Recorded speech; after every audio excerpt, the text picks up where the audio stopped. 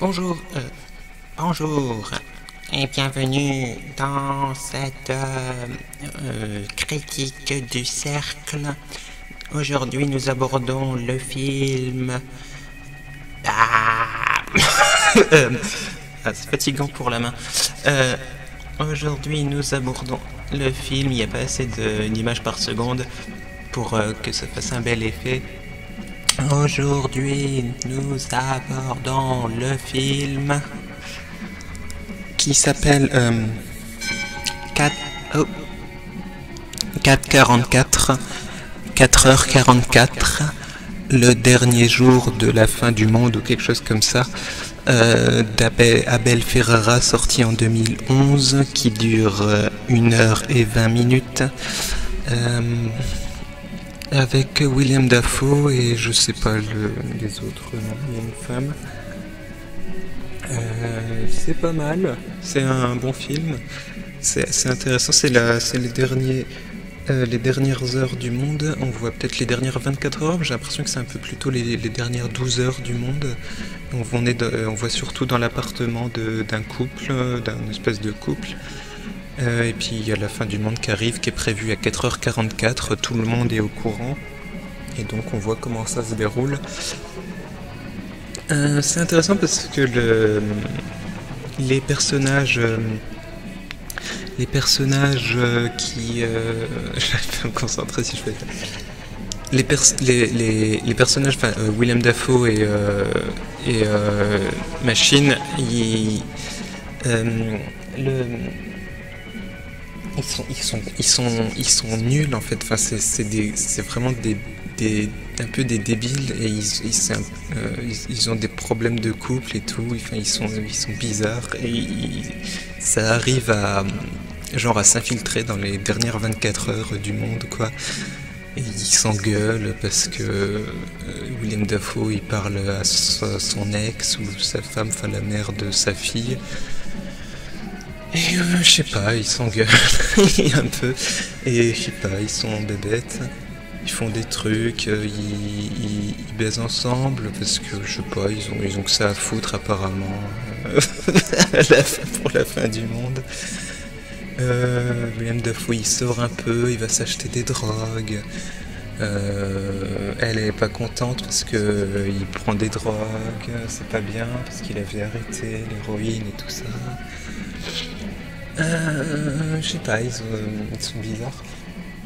Mais euh, j'aime bien le film parce que c'est tout le monde est très calme en fait. Enfin, on voit, en fait, ça, ça montre la, fin du monde plus comme une espèce de, célébration mondiale, une sorte d'événement. genre, ça va être la fin de l'humanité. Et, euh, ben, on, va, on va la célébrer en fait. On va dire bon bah ça y est, on a, fait notre truc et puis euh, ra- rappelons-nous de l'humanité, euh, allumons quelques chandelles, on va faire de la musique et tout ça. Et donc il y a plein de gens qui font ça autour. Enfin, on voit genre des images, des, ça j'aime beaucoup. On voit plein d'images, genre qualité YouTube, vraiment toutes pourries et tout, de, célébrations ou de trucs, de- de- d'extraits de, films.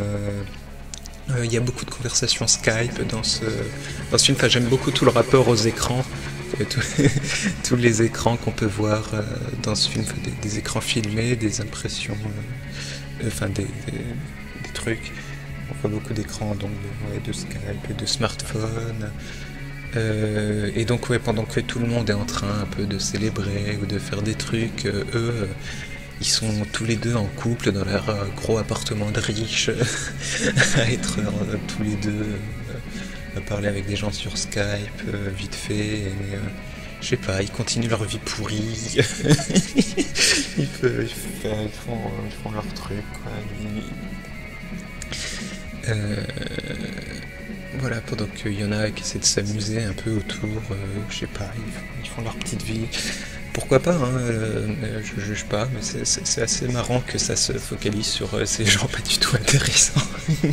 Et enfin, je trouve ça bien, je trouve ça, je trouve ça très bien. Euh, Il y a des moments assez drôles, du coup, parce que tellement ils, enfin, tellement ils gèrent pas leur, leur fin du monde. Mais ils font comme de toute façon. Euh, au point où on en est, ils font, ils font comme ils peuvent faire. Euh, ouais, voilà.